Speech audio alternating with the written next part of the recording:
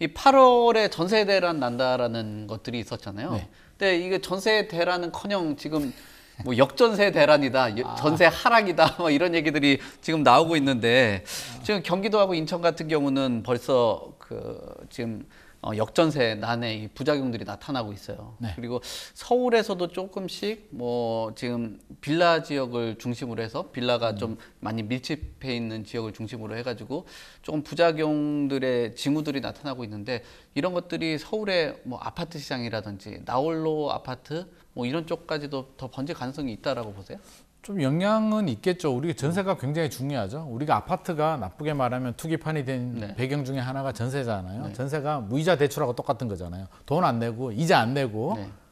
전세를 주면은 그냥 집값의 한 50에서 60% 정도 전세가율만큼 대출을 받는 효과기 때문에 그 돈 가지고 주식 하시는 분들도 있던데요. 그렇죠. 주식도 하고 뭐 네. 다른 대출도 좀 갚을 수도 있고 뭐 요즘 같을 때는 금리 이게 은행에 넣어둬도 되고 네. 금리 좋을 때 여러 가지가 있는데 일단 전세는 그 버팀목 역할, 레버리지를 해주기 때문에 음. 아파트 같은 경우에 투자하기도 쉽고요. 진입 문턱이 굉장히 낮잖아요. 10억짜리 부동산을 대출 안 받고 투자할 수 있는 그러니까. 방법이 이게 전세가 얼마나 좋아요. 이게 우리나라만 있는 참 이게 우리나라만 있는 게 맞나요? 이게 볼리비아에도 있다고 한. 군데 더 있는 것 같더라고요. 볼리비아하고 인도 무슨 지역에 도 있다라고 하는데 볼리비아까지는 제가 잘 모르겠고. 네. 근데 거기는 그래도 아파트 공항구가 아니니까. 그렇죠. 이- 우리처럼 이렇게 돼. 잘 난리는. 아니잖아요. 난리는 아니니까. 그래서 전세가 끌어올리는 역할을 해주게 되고요. 전세 자금 대출이 큰 역할을 했죠. 아, 그 MB 정부 때 이제 도입이 되면서 네. 사실은 MB 정부 이전만 하더라도 전세 자금 대출이 없을 때만 없을 때는 집주인도요 누울 자리를 보고 다리를 뻗잖아요.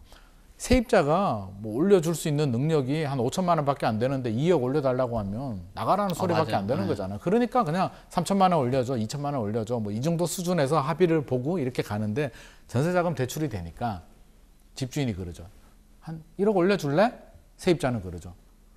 그럴까? 그냥 대출 오케이 오케이 서로 그래서 1억 2억 오르고 뭐 나쁘게 말하면 반지하에 거주하시는 분들이 위층으로 올라오고 빌라에 사시는 분들이 아파트로 가면서 좋게 말하면 주거의 질이 굉장히 올라갔지만 나쁘게 말하면 그게 은행 돈으로 버블이 생긴 거죠. 이게 내 돈이 아니라는 거. 우리 2012년도까지 매매 시장은 어려웠지만 전세는 전세 계속. 맞아요. 2015년, 16년까지 폭등을 했거든요. 그렇게 올라가는 전세 가격이 저는 결국에는 2017년에서 2020년 폭등기에 밑거름이 됐다라고 생각합니다. 물론 저금리 유동성의 힘도 있었고 여러 가지가 맞물렸는데 자 전세가 아 저도 사실 좀 이게 약간 부끄럽긴 한데요. 올 8월에 제가 전세 대란 올 줄 알고 올 초만 하더라도 전세 대란 온다라고 제가 저도 이제 거기에 표를 던진 한 사람 중에 한 아니 명인데 그 대부분이 그랬어요. 어쩔 수 없는 아, 와. 이렇게 될지 누가 그렇죠. 알았겠어요. 계약 2 플러스 2 계약갱신 청구가 끝나는 집들이 나오면 집주인은 올려 받을 수밖에는 없고 그래서 우리도 시장 전망을 할 때 좀 이제 겸손하게 어, 어, 시장을 함부로 예단해서는 안 아, 되겠다는 들어. 그러니까요. 근데 이게 또 직업상 이게 예측을 안 할 수도 없고요. 찍어달라고 하잖아요, 계속 전망을. 그러니까 찍어달라고 하니까 아니 우리는 논리적으로 이제 그렇게 생각할 수밖에 없는데 우리가 예상하지 못하는 변수가 있죠. 그렇죠. 금리. 네.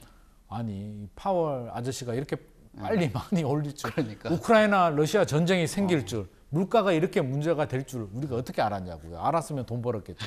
진짜. 그러다 보니까 자 전세 가격이 예상치 못하는 복병이 생기죠. 전세가 금리가 올라가니까 전세 대출이 이제 보편화됐잖아요. 당연히 전세 대출 그래서 올려 받아야 되는데 세입자가 계산기를 두들겨 보니까 전세 대출을 받아서 답이 안 나오는 거예요. 그러다 보니까 이제 월세로 전환이 되죠. 지금 월세가 더 유리하게 됐잖아요. 그래서 사실은 임대차 시장 전체를 보면은요, 이게 안정이라는 표현이 저는 맞지 않다라고 봐요.